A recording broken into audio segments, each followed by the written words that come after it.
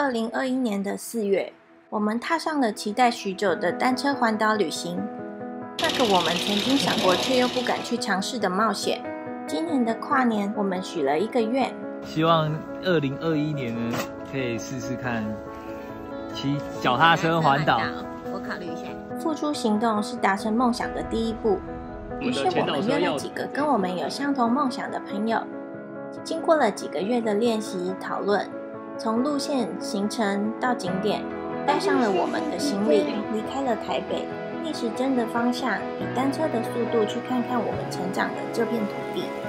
说实话，单车旅行并不像以往的旅行那般舒适，每天六点就要早起，路上要注意交通，注意时间。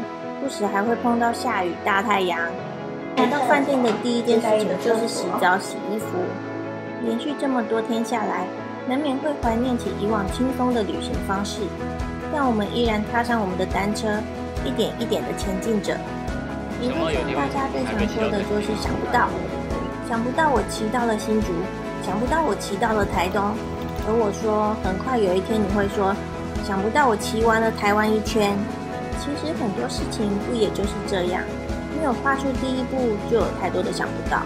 从台北逆时针到台湾一圈九百三十九公里，我们才到了。台湾一圈的风景是群山，是大海，是长得奇高一片绿油油的稻田，是因为春天而绽放的不同颜色的花。而最令我感动的是看到一路期盼我们到来的家人，是遇到约我们采洋葱还有送我们水果的当地小农。还有不管烈日或下雨，都彼此互相鼓励的朋友。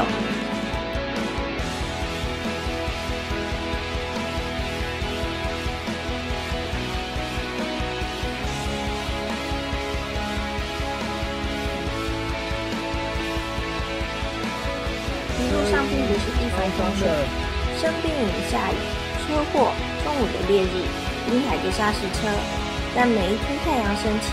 我们还是会往前走一点点，把地图的距离再缩小一点点。